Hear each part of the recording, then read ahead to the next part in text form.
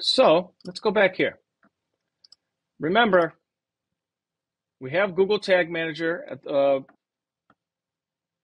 in settings, Google Tag Manager. It's already installed properly. Here's the code. It's on, off.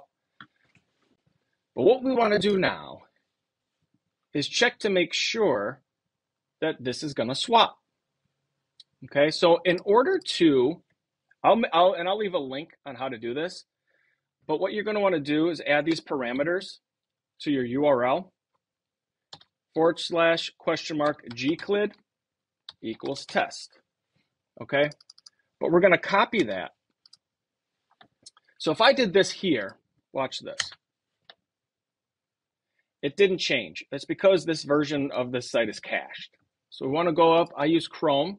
We're going to do an incognito window, paste it. And if you saw it real quick, it's switched. Let's do it again in case you missed it. I'm going to do incognito window, paste. Now watch that number. Boom. There it is. It switched. Okay. So that means it's working. So the number and the, the client, whoever's looking at this landing page, they're not going to look at this number. It just it, it takes a split second. Um, but we do know that the swapping is working.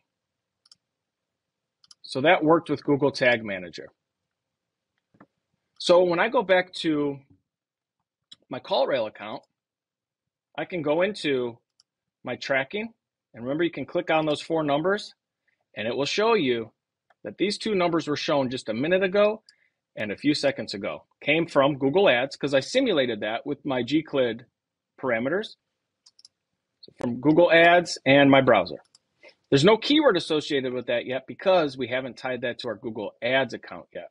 Okay, so that's going to be coming up next. Hope that you found this helpful. If you like this content, please subscribe to this channel and give me a thumbs up. Um, please write me some comments too if you have any questions. I'm happy to help. I really, I really enjoy doing this for some reason. It's uh, it really gets me all jacked up. So, um, hope to see you in the next video. I'm going to have a lot more coming. Take care.